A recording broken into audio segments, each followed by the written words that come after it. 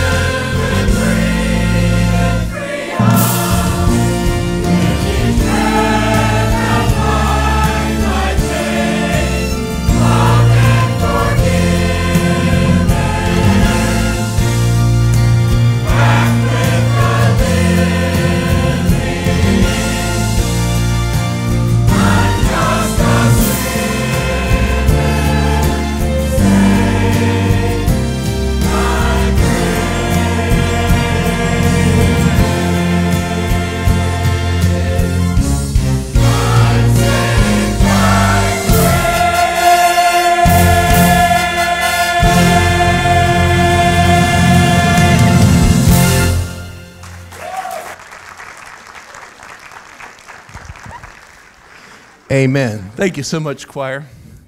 Great job.